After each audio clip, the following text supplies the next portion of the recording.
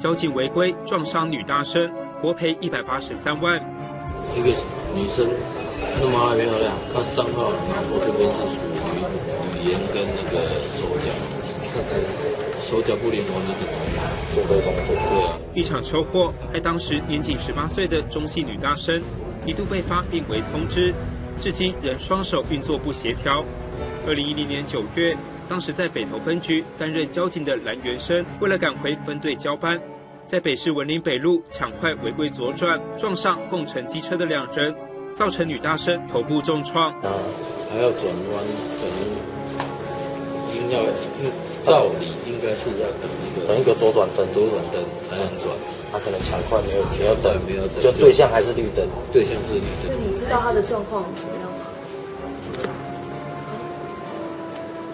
很不乐观，你也知道。警察为什么会那么莽撞啊？把一个一个小孩子的前途这样子，嗯，撞撞成这样。对啊，所以这个警察是不是要赔赔？是不是要负最大的责任？